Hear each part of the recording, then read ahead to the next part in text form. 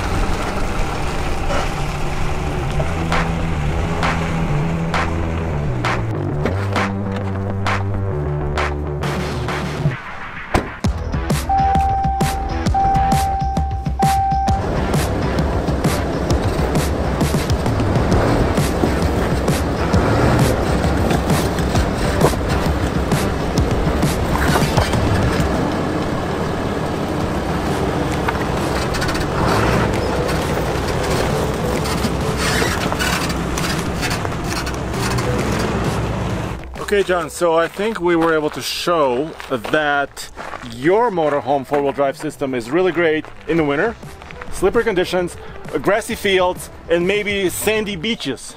And fire trails. And fire trails. And this truck uh, is a little bit more capable because it's got more ground clearance.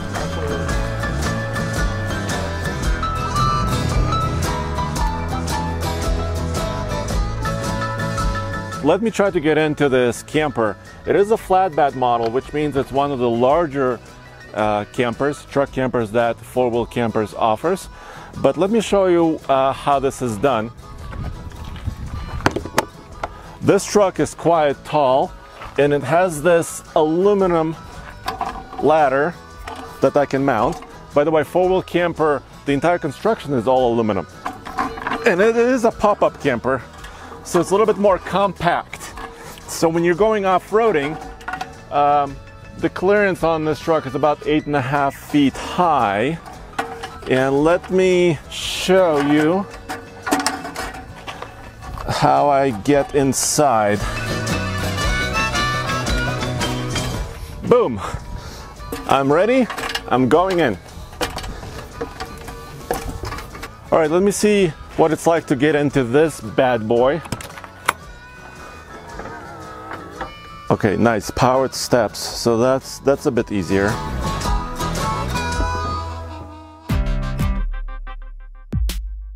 All right, Jen. So you can control a lot of the features of this beautiful motorhome remotely. Absolutely. It comes with an app. So what is this app called? It's the equalizer system. Um, I don't know who the manufacturer of the app is. Okay, so what are you doing now?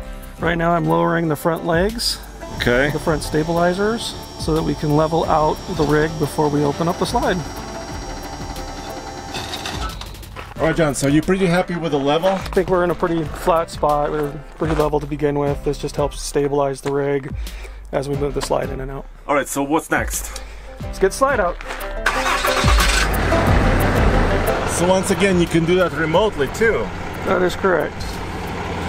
Makes life very easy.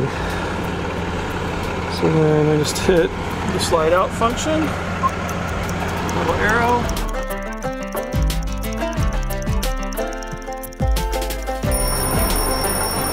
Right, John, I don't have a remote control, but I can also move my slide out. Actually, it's not a slide, it's just the roof.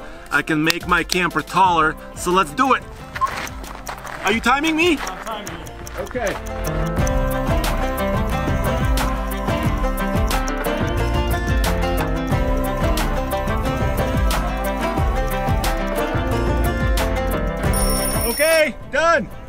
So John, you got your app ready again? I got the app ready. Here we go. So awning test. I'll turn on the light so you can see it better. I, I see. You're just showing off now. All right, let me show you my awning. John, are you gonna time me? I'm gonna time you. Okay, let's do it.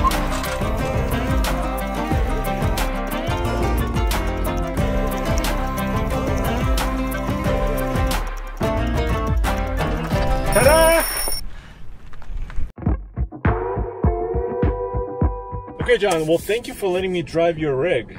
Not a problem. First of all, immediately, the seats feel very spacious and luxurious. Uh, nice are. leather. Yep. Uh, then I can see basically the same controls, almost the same center stack, column shift. I feel right at home. Put it in drive and just go down the road, right? Correct. Okay, so another thing I want to see, and we'll figure this out over there, is the turning radius.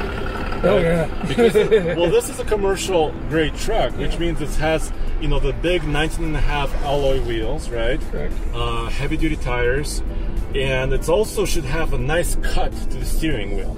Yeah, but it's it's not horrendous. All right, so I'm here, right here, next to this white line. Let me cut this and see if I can make this turn.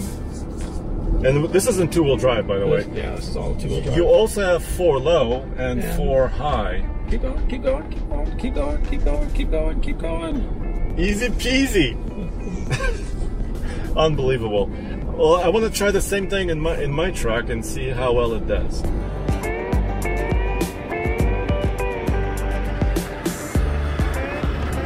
So here's a question: Will it turn about as tight as um, your rig? Uh, let's find out. So it's about the same, right? We're in about in the same place. Not the same place. Okay, so, and I'm in two-wheel drive. Let me crank it. These are the big 37s. And I'm turning, turning, turning, turning. Very Maybe similar. a tiny bit Yeah, shorter. Tiny bit shorter. But you've got like eight more feet of length on your truck. yeah, I'm 32 and a half. This is about 24-ish. Yeah, So that's not bad. that's impressive for your rig as well.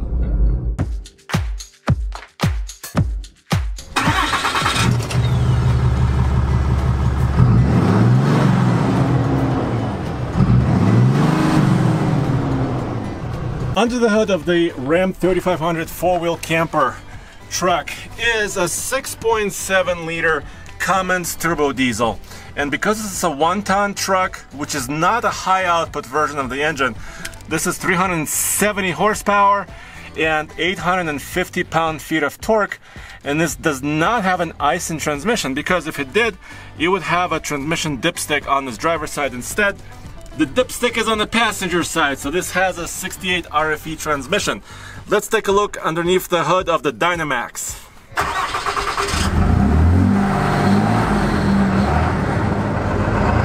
This truck is a 5500 chassis cab Ram medium duty truck. It also has a 6.7 liter turbo diesel straight six engine but because it's a commercial truck the rating is a little bit different. 360 horsepower and 800 pound feet of torque. And this does have an Aisin transmission right there. You could see that ASRC automatic transmission fluid right there. So that's how you know this truck has a more heavy duty transmission and a commercial grade engine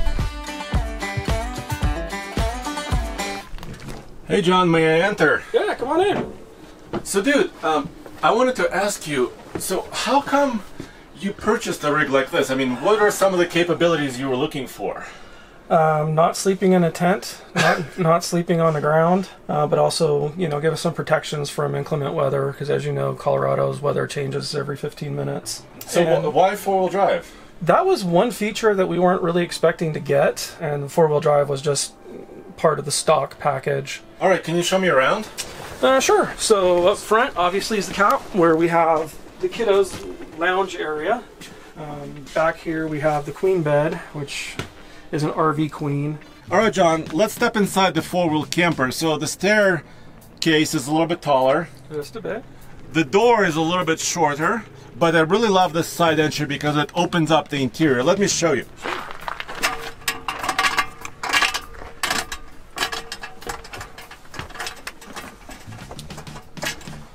So right here, right now, this dinette is actually folded down into a bed. So this is actually wide enough and long enough for me to sleep. I'm just over 6'2". Over the cab, uh, there is this expandable bed. So it can be about this big, which is about like a twin, um, or it can also extend once to become a queen. So you can put these cushions in here, like this. Wow. And then, if you need more space, you can put both of these cushions in here and actually extend it to a king. So, so what we've done here before, we've slept, you know, my wife and I and two kids. Yep. So the two adults and a, and a kid can sleep up here, and you can actually sleep lengthwise or actually side to side. Mm-hmm. So there's a few different options here. Um, over here, we've got all the control centers for the equalizer system, um, battery management. So this is where we have the auto gen start. Uh, we have um, sensors in our refrigerator, so we can tell um, the the freezer and the refrigerator aspect. Um, then you got your solar controllers, and then you've got your internal slide controls, um, and then you've got your Winegard system up here. Is that the battery? No, this is just for the oh, these are just the fuses for the for the coach Just for itself. the coach itself, yeah. um, and then the satellite services up there, so we can turn it on and off. And you put lithium ion batteries. on. I had AGMs. I didn't really like them, so I put in four Battleborns. Uh, but this is all the controller area and the batteries. You mentioned your battery system, right? Correct. So let me show you my battery system. Booyah! Battleborns. Battleborn. So uh, just this is a double. So a double battery system here. The- These are also lithium ion, and um, there is also two 100 watt solar panels on the roof. So very similar to yours. Yes, yes. I got two 100 watt solar panels up top. Uh, REDARC uh, management system for the batteries as well. Nice. And down here, let's see. Some of the more radar components, your fuses, um, and everything is labeled. So if you do need to service something, you can you see it right here. You also have some of your controls here for your to check your water, uh, fresh water level, your thermostat. Some of your plumbing is actually in here.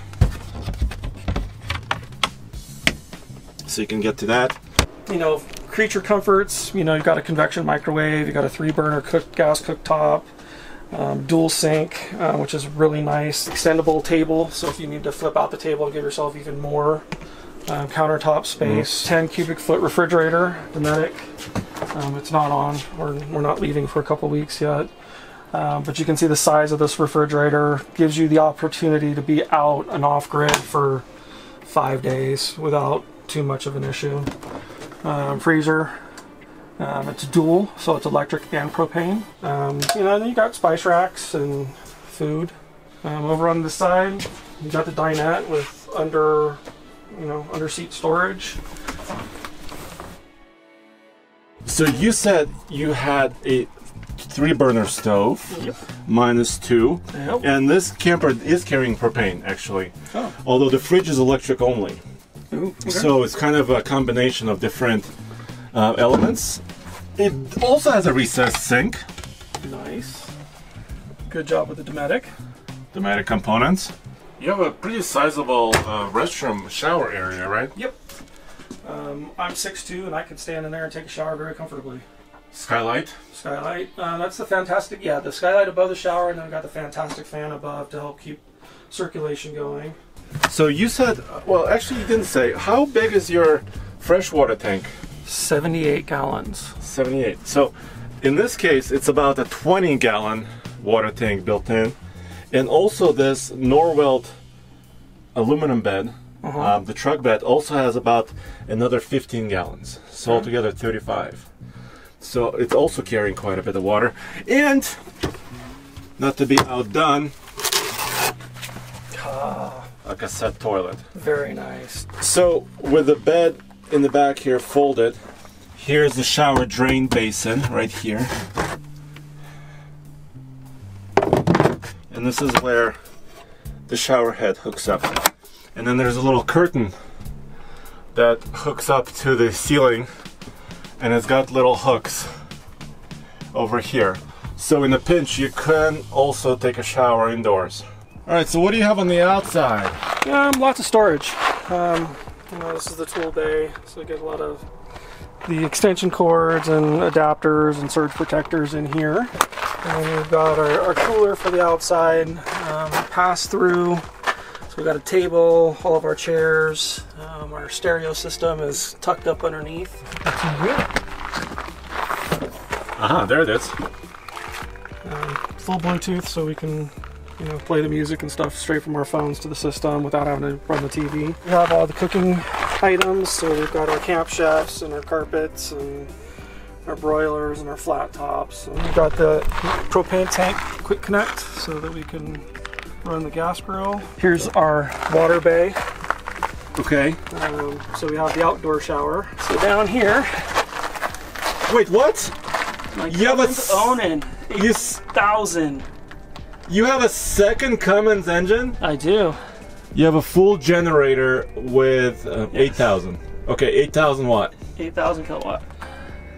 So yeah, it's uh, it's a beast. On the exterior of the four-wheel camper truck, there are also additional storage boxes.